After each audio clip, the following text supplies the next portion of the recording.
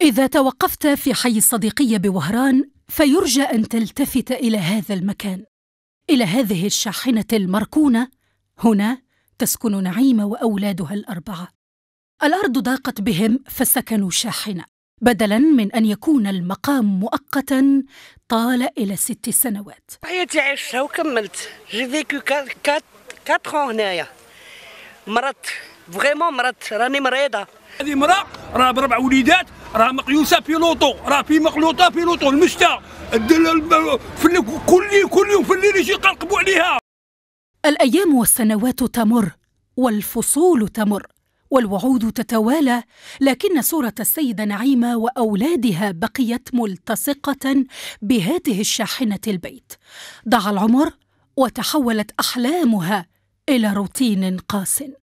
أنا يعطيني شاطو دروك أختي ما عندي ما ندير به. صاي ولادي كبروا اللي اللي حبس قرايه حبس قرايه وأنا يا سماطت لي أختي. لا تملك نعيمه سوى ورقة مخطوط عليها استفادة. تحصلت عليها نعيمة منذ أكثر من ثلاث سنوات. مرت السنوات وبقيت الورقه حبرا على ورق. 2017 انقضى.